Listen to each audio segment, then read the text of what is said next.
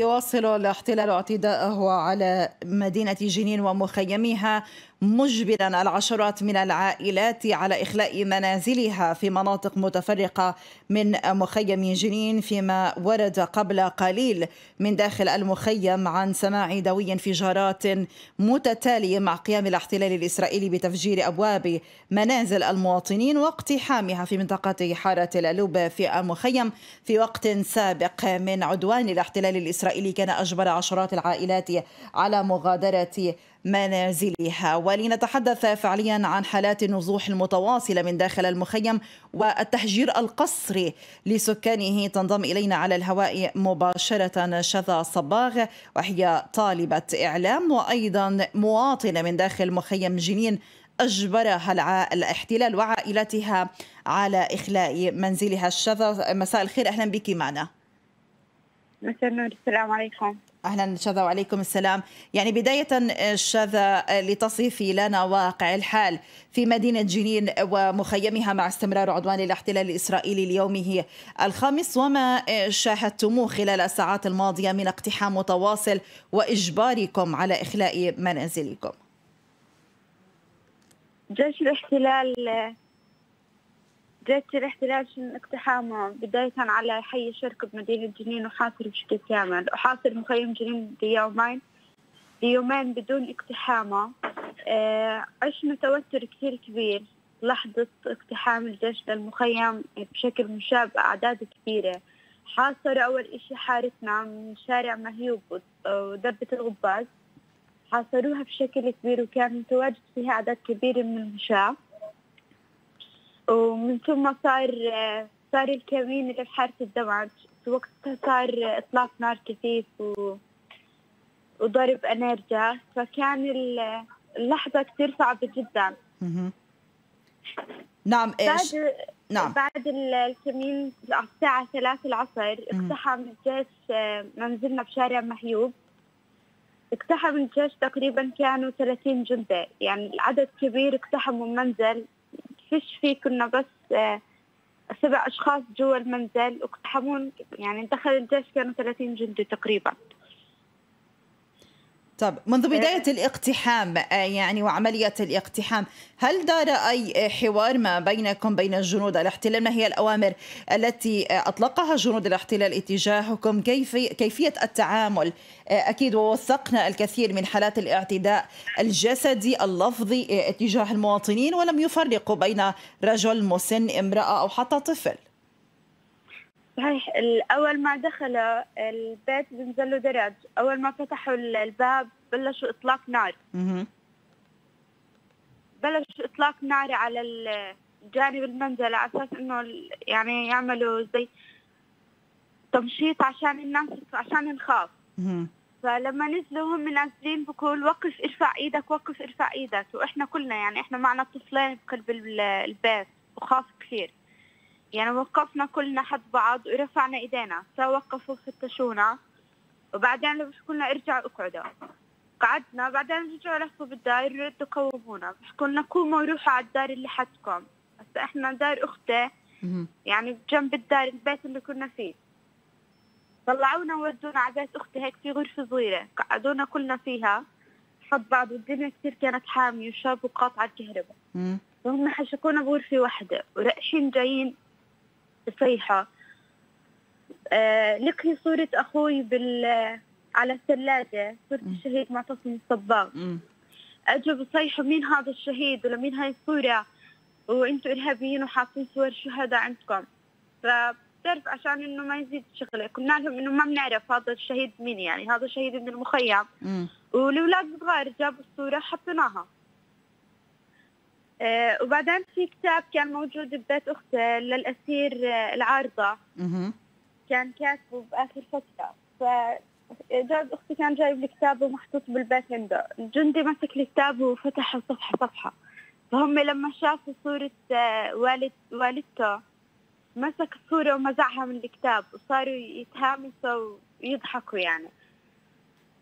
وكان في كتب كمان للشيوخ. فهم صاروا يمزعوا بالصور تاعت الكتب ويمزعوا بالآيات القرآنية. ما خلوا شيء بالمرة. نعم. شذا هذا هذا الاقتحام آه الذي نفذ آه يعني خلال آه الساعات الأولى لاقتحام المدينة والمخيم وصولا إلى اقتحام منازل المواطنين وإجبار العشرات منهم على إخلاء منازلهم قسرا ماذا طلبكم الاحتلال الاسرائيلي من أجل الخروج من المنزل بعد تحويل لثكنة عسكرية؟ وهل سمح لكم بأخذ أي شيء من مستلزماتكم الخاصة في إطار عملية التهجير ما بين قوسين التي يحاول الاحتلال الإسرائيلي فرضها على المخيم؟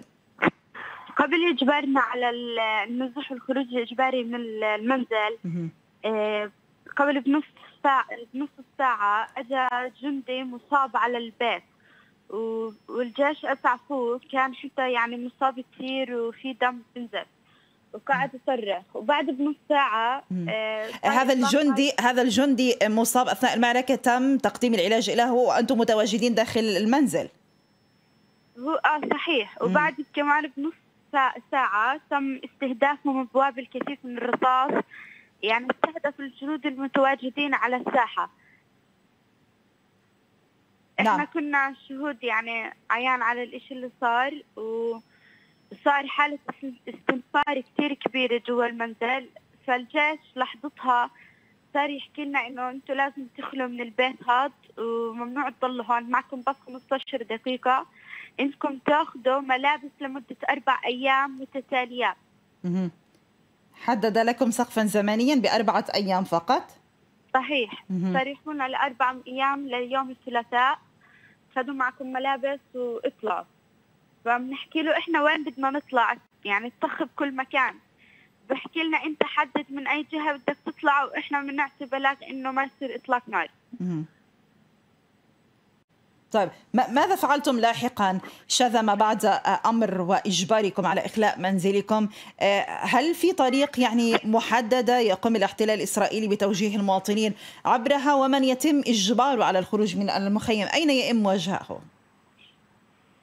إحنا لما طلعنا كان لسه ما حدا بيطلع من المخيم فكان طلع آه، يعني طلعنا بشكل إجباري وقسري كان معنا مسنة عاملة عملية فتح آه، قلب مفتوح وعندها سكري وضغط.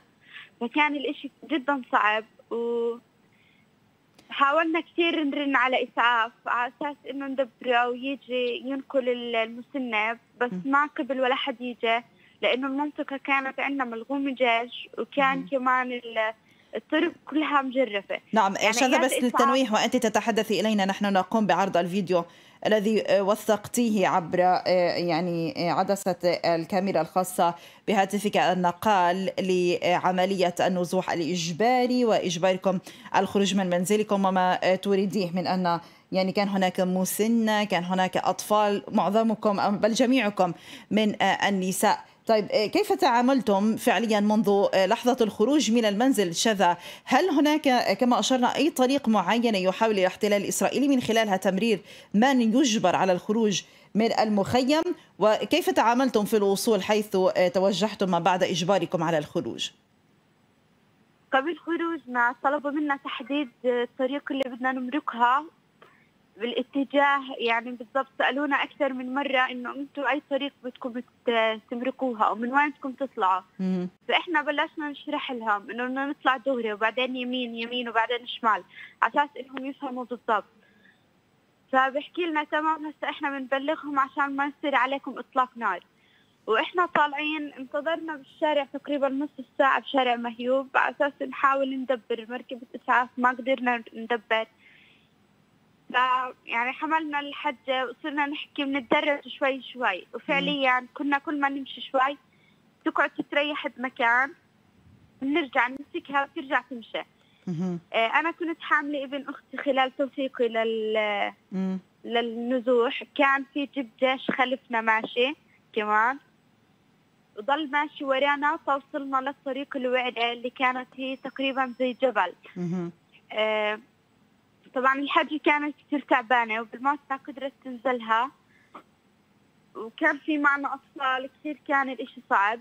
لما وصلنا وصلنا لمنطقة كانت قريبة على على جبل أبو ظهير فأجوا ناس كل ذلك مشيا على الأقدام شذا. لم يسمح لكم باستخدام أي من المركبات. لا لا بالمرة. يعني إحنا حاولنا نقول لهم اعملوا تنسيق واعملوا إشي. بيحكوا لنا إحنا ما بنعمل ولا إشي بزبطش نعمل تنسيق. آه ولا حدا يجي كمان هون. فإحنا اضطرينا إنه نطلع إحنا مشي على الأقدام. ممنوع إشي يجي على المخيم جهة المخيم. يعني إحنا قطعنا مسافة كبيرة لبرا لعند جبل آه تجاه جبل أبو طهير. لحتى حدا حتى أدم سيارتين قدرن ينقلونا على جبل أبو طهير. نعم شذا هناك أكيد مرارة وغصة لما يحدث في جنين كحال قطاع غزة كحال الضفة الغربية. ولكن سمعنا مرارا وتكرارا ممكن عن عمليات النزوح المتكررة في قطاع غزة. ولكن من يعيشها اليوم في جنين؟ هذا الشعور الذي لا يمكن لأحد فهمه أو استيعابه إلا من يجبر كارها على ترك منزله وإلا تحت تحديد السلاح ووطأة السلاح والنيران. نتحدث فعليا عن هذا الشعور الشذا المتعلق بإجبار المواطنين على إخلاء منازلهم على ترك منازلهم ومحاولة تفريغ المخيم من ساكنيه. الشعور كثير صعب إنك تطلع تترك بيتك خلفك خصوصا لما الجنود ياخذوك سكنه عسكرية لهم ما بتعرف أنت رح ترجع تلاقي بيتك محطم آه، أساسه كله موزع خصوصا إنهم يكونوا هم ماخذينه سكنة عسكرية إلهم. فالشعور كتير صعب. وإنك أنت تترك المنطقة اللي أنت عشت فيها وآخر إشي يجي شخص يخليك يعني كلك ب 15 دقيقة أنت تكون طالع من المنطقة. وأنا إلي 21 سنة ساكن بهذا البيت وأنا ب 15 ثانية يعني ب 15 دقيقة بدي أخليه بسبب هذا الاحتلال. فالشعور كثير صعب جدا. توتر كثير عالي. غير التعب والإرهاق. يعني كله كان صعب جدا. وخطر. يعني الخطر يعني ما في منطقة آمنة بالأبدا. يعني هينا إحنا مثلا حاليا طلعنا على جبل أبو ظهير الساعة 7 المغرب وصلنا جبل أبو ظهير آه، من الساعة 7 المغرب للساعة 10 ونص. قدرنا نوصل الحي آه، الهدف الجديد. وهي بحي الهدف في إطلاق نار. إن كل المناطق في إطلاق نار يعني ما بتقدري أساسا تطلع حتى برا المخيم. الوضع كثير خطير.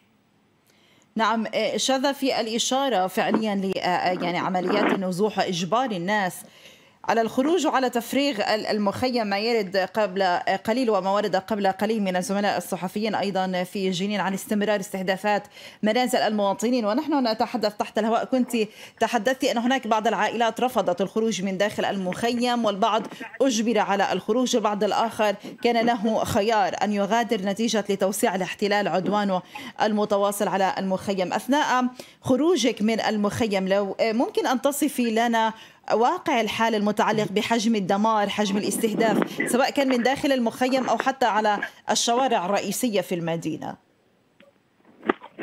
إحنا لما طلعنا مرقنا من طلعة الغباس. طلعة الغباس تم تحفيرها من فوق من الرأس للأسفل. فإحنا لما مرقنا كانت كلياتها محفرة بشكل كامل. يعني إحنا آه بعدين قطعنا دغري على جبل أبو طهير فجبل أبو طهير ما كان في أي دمار بس منطقة طلعت الغبز لتحت للمخيم كلياته دمار كان. نعم آه، شذا وما هي الرسالة فعليا التي يحملها أهالي مخيم جنين آه، الأحتلال الإسرائيلي حاول ميران استهداف المخيم منذ السابع من أكتوبر بعدد كبير من الاستهدافات من عمليات الاعتقال المتواصل من آه، حجم فعليا الدمار والقتل الممنهج تجاه الشبان. المقاومين اتجاه أهالي مخيم جنين. ما هي الرسالة التي يحملها أهالي المخيم رغم حجم هذا الدمار رغم هذا الوجع المجبول بدماء الشهداء وفي محاولة الاحتلال كي هذا الوعي الجنيني الحاضن للمقاومة؟ ما هي الرسالة التي يحملها سكان المخيم؟ أهل المخيم جدا صابرين وجبارين. رغم استشهاد عدد كبير من شبانه والسياسة اللي بيستخدمها جيش الاحتلال بإجبارهم على آه، على نزوحنا من داخل المخيم إلا إنه هناك عدد كبير من الناس ما بدها تطلع. يعني الجيش بيخطبهم بال... بالسلاح إنهم تطلع من داخل منازلهم. فإحنا بنطلع بنترك ورانا شبابنا بنترك منازلنا بنترك حاراتنا وبيوتنا. وداخلنا بنكون يعني إحنا نترك يعني تفكيرنا وكل كلنا بس يعني فيد الشباب وفيد الوطن. نعم آه، شذا آه، تحدثتي عن أربعة أيام سقف زمني. آه، يعني أعطاكم إياها الاحتلال لإمكانية العودة إلى المنزل ولكن الظروف على ما يبدو وعدوان الاحتلال يذهب نحو تصعيد إضافي ليس بإمكانكم العودة إلى أدراجكم إلى منازلكم إلى بيوتكم في ظل هذه الهجمة المسعورة التي يشنها الاحتلال الإسرائيلي واستمرارها في المخيم وفي المدينة. ولكن لاحقا كما أشرت هذا الصمود وهذا الثبات يعني كيف يكسر شوكة الاحتلال الإسرائيلي رغم كل ما يقوم به من عمليات مستهدفة للمخيم احتلال بيقتحم المخيم أو المنازل بشكل مرهب. تفكر إنه المواطنين راح يخافوا. بس بالعكس يعني هم لما يقتحموا أساسا إحنا كأطفال أطفال بيكونوا يعني بصيروا يضحكوا عليهم. إحنا أولاد أختي أطفال صغار لما شافوا الجيش ولكنهم موجودين أساسا. يعني ابن أختي صار يلعب أكثر ويضحك أكثر. يعني عمره سنتين ونص. وقف بين إجرين الجندي بس لأنه بده يطول باسه سبايدر مان. لكن الجندي ارجع وقف قدامه بكل ما بدي ارجع أنا بدي بوت سبايدر مان. فإحنا أطفالنا الصغار ما بيخافوا منهم فإحنا كبار أكيد ما رح نخاف ورح نضلنا صامتين وواقفين وثابتين بوجههم. بوجه أي محتال رح يكون مساند إلهم. نعم يعني إن شاء الله العودة ميمونة لكم جميعا. شذا أمنيات السلامة لكل أهلنا في جنين لأهلنا في مخيم جنين الصامد. شكرا شذا على وجودك معنا. شكرا إذا كما لهي التفاصيل. ونتمنى العودة من جديد لكل أهلنا في مخيم جنين. شكرا. حماكم الله. شكرا شذا. أشكرك.